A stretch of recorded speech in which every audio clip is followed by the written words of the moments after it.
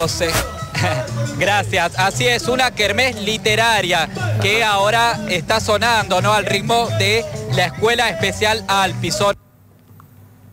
Estudiantes del Ministerio de Educación y modalidades que se han congregado en el Parque El Provincial en el marco de esta kermés literaria. Ahí están observando un gran colorido de estanes a donde han traído para visibilizar los trabajos que vienen realizando a lo largo del año. Como les decía, esto es un espectáculo artístico de la Escuela Especial Alpi. Son más de 50 escuelas de diferentes niveles y modalidades que se han congregado aquí en el Parque Provincial a esta hora de la mañana. Este es el clima que se vive. Excelente, Edu, buenísimo. Eh, el, objetivo acá es compartir trabajo que se vinieron a trabajar, que vinieron haciendo chicos. ¿Qué es lo que se busca con esta, con esta convocatoria? Sí, lo que se busca es este, poder eh, difundir ¿no? la literatura desde diferentes formas alternativas, diferentes estrategias. Vamos a dialogar con eh, la licenciada Viviana Nasir, ella es la directora de Educación Especial del Ministerio de Educación de la provincia. Licenciada, la finalidad de esta intervención en el espacio público. Bueno, esta actividad está realizada en el marco del mes de la educación especial y es una actividad centrada en la literatura, en las diversas maneras de abordar la literatura, siempre con el claro objetivo de la alfabetización. Nuestros niños en nuestras escuelas abordan la literatura de diferentes maneras. No es lo mismo trabajar literatura en una escuela de ciegos, en una escuela de sordos, en una de intelectuales. Recuperar el juego, la alegría en la escuela. A través del juego, eso es, así es.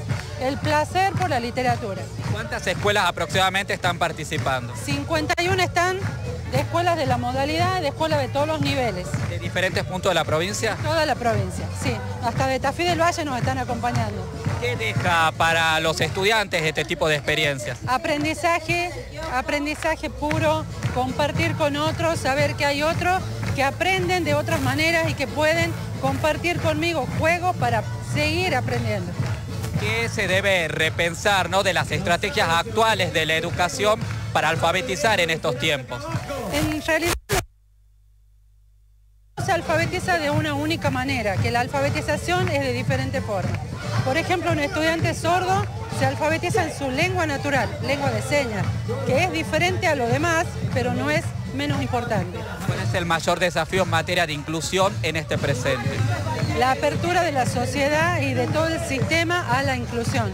Las escuelas especiales estamos ávidas de que se nos acepte, se nos incluya. Hay que pensar de qué manera podemos trabajar juntos para no pensar espacios de educación especial, sino espacios aprendizaje para educación. ¿Hasta qué hora van a permanecer aquí en el Parque del Provincial? Hasta las 13 horas en esta primera experiencia que tenemos.